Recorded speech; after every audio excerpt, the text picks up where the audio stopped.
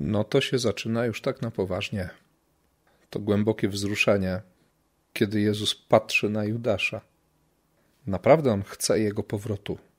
Chce tego, żeby, żeby ten chleb, który on podaje Judaszowi, był chlebem pojednania.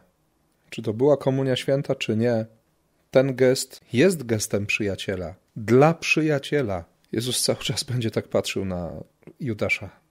To mnie najbardziej prostuje w całej dzisiejszej liturgii. Nawet nie te deklaracje Piotra, ale, ale właśnie gest wobec Judasza. To, że Chrystus do końca ma nadzieję.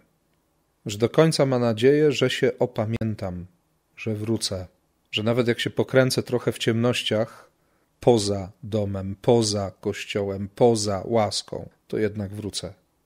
Naprawdę tego potrzebujemy.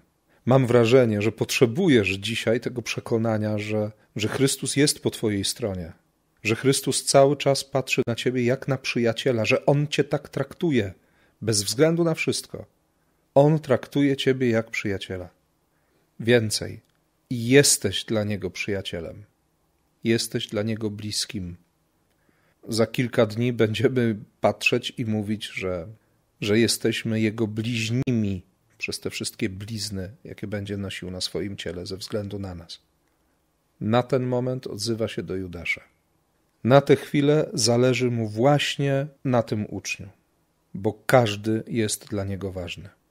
Nie tyle wszyscy, co każdy z osobna. Wierzysz w to? Wierzysz, że jesteś ważny dla Jezusa?